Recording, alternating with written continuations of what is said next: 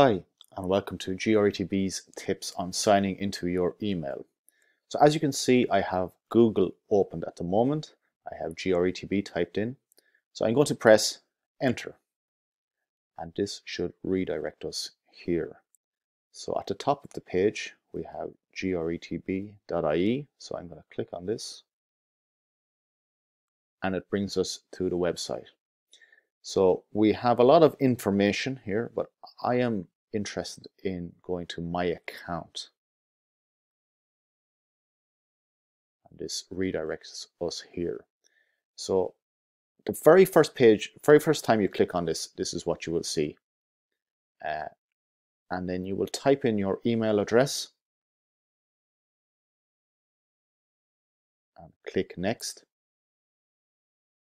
After that, you will be asked to enter your password. So my password is already entered here.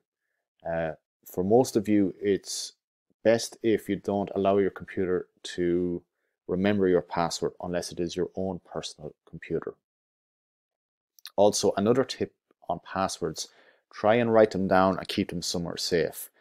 Clearly identify any capital letters by underlining them or circling them. So on the left hand side of the page we have our applications or apps for short.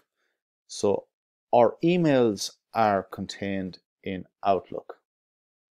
So I'll click on Outlook and it will bring me here.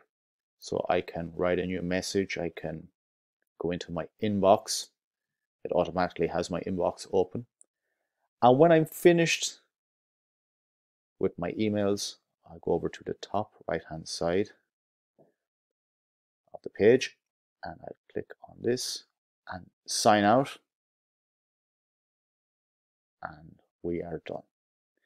Okay, thank you very much.